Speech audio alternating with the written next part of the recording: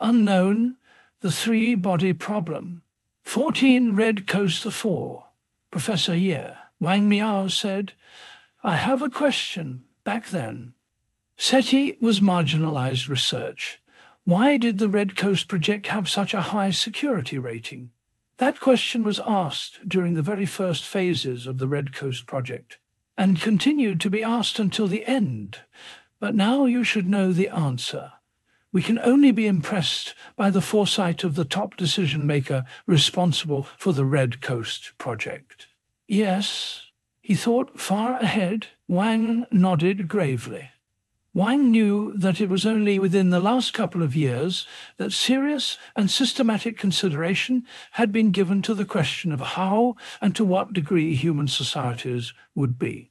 Influenced by establishing contact with extraterrestrial intelligence, but the research had rapidly gained interest, and the conclusions were shocking, naive.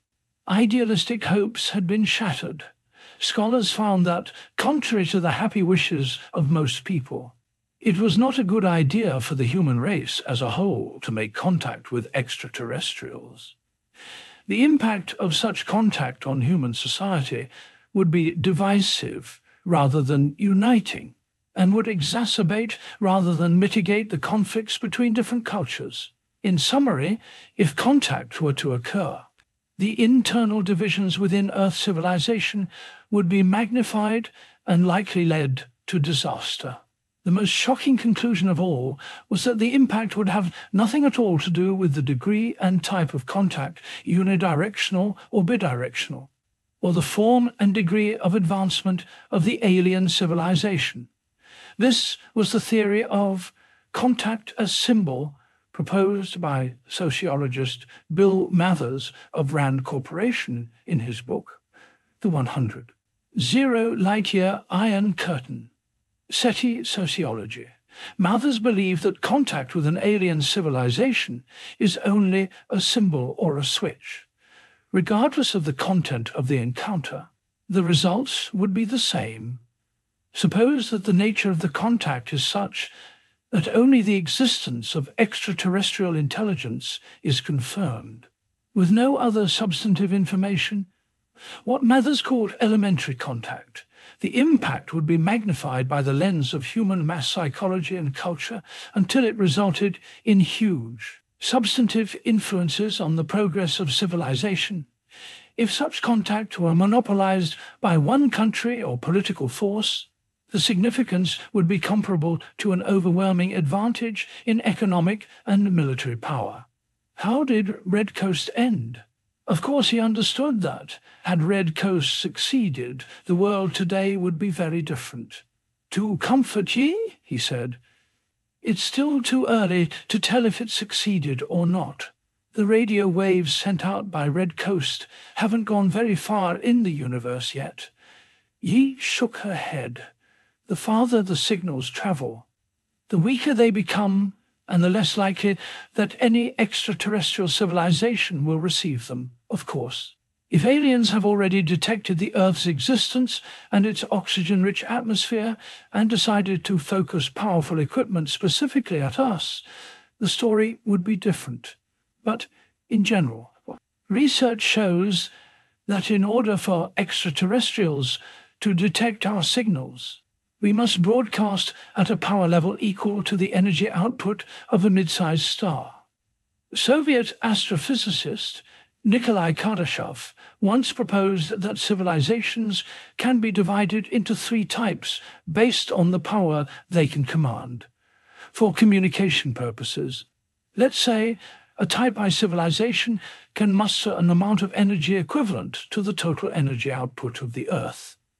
Based on his estimates, the energy output of the Earth is about 1015 to 1016 watts a Type II civilization can marshal the energy equivalent to the output of a typical star 1026 watts. A Type III civilization's communication energy can reach 1036 watts, approximately equal to the energy output of a galaxy. Civilization on Earth is currently about a Type 0. 7 Seven, not even a full type I. And the transmissions from Red Coast used only about one ten millionth of the amount of power the Earth could muster. Our call was like the buzzing of a mosquito in the sky. No one could hear it. But if Kardashev's Type 2 and Type 3 civilizations really exist, we should be able to hear them. We never heard anything during the 20 years that Red Coast was in operation. Indeed, given Red Coast and SETI, could all our efforts ultimately have proven only one thing? In the entire universe, only the earth has intelligent life. Ye gave a light sigh. Theoretically, there may never be a definitive answer to that question, but my sense, and the sense of everyone who went through Red Coast, is that that is the case. It's too bad that Red Coast was decommissioned once it was built. It should have been kept running. It was a truly great enterprise. Red Coast's decline was gradual.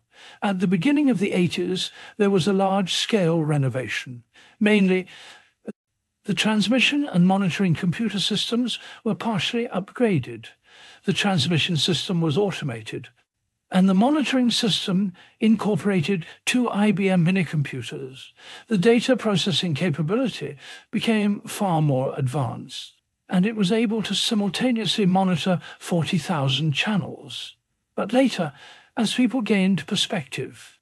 They had a better appreciation of the difficulty of the search for extraterrestrial intelligence, and the leadership lost interest in Red Coast. The first change was reducing the base's security rating. The consensus was that the extreme secrecy around Red Coast was unnecessary, and the security detail at the base was reduced from a company to a squad until eventually only a group of five security guards were left.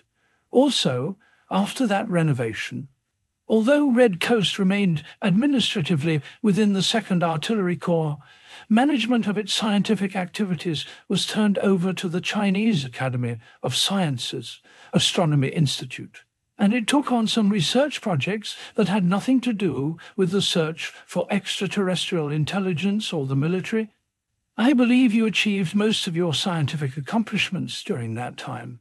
Initially, Red Coast also took on some radio astronomy projects. At the time, it was the largest radio telescope in the country. Later, as other radio astronomy observatories were built, Red Coast's research turned to the observation and analysis of solar electromagnetic activity. For this, they added a solar telescope the mathematical model we built for solar electromagnetic activity was at the forefront of the field back then and had many practical applications. With these later research results, the large amount invested in Red Coast had at least a little return. Much of the credit should be given to Commissar Lei. Of course, he had his own agenda. He realized that as a political officer in a technical unit, his future wasn't bright.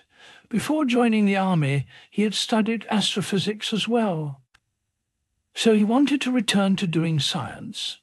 The research projects that Red Coast took on outside of the search for extraterrestrial intelligence were all due to his efforts. I doubt that he could have returned to technical work so easily after spending so much time as a political commissar. Back then, you still hadn't been politically rehabilitated. It looks to me like all he did was to put his name on your research results. Ye smiled forgivingly. Without Lei, Red Coast Base would have been finished even earlier. After Red Coast was designated for conversion to civilian use, the military basically abandoned it.